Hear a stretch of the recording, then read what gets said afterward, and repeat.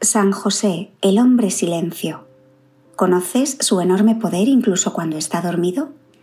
Él con su sí ofreció un gran gesto misionero, uno de los más importantes de la historia cristiana, al aceptar ser el Padre terrenal de Jesús.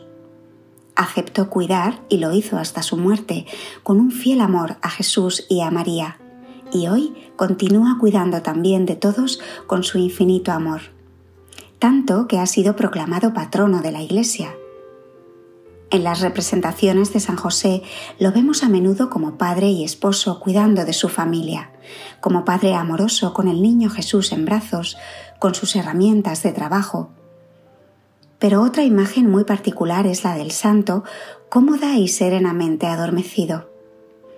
Esa es una hermosa imagen que el Papa Francisco popularizó siempre la tiene cerca y a él le confía las necesidades de sus fieles con pequeñas notitas que pone debajo de la talla. Cuando uno ve la imagen, se le ve sereno, tranquilo. ¿Es que acaso no tenía problemas? Parecería que al contrario de tantos, no sufría de insomnio. Problemas sí que tenía, y bien grandes, ya que tenía que proteger a un niño pequeño que era Dios y a su Santa Madre. Tuvo dudas y se preocupó, pero es durmiendo confiado cuando recibe los mensajes más importantes de parte de Dios. Le advierte del peligro del rey Herodes.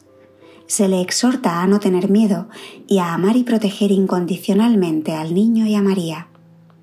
Durante el sueño, a José se le revela su papel de padre putativo de Jesús y de todos los hombres, y se construye su figura de abogado consolador y protector.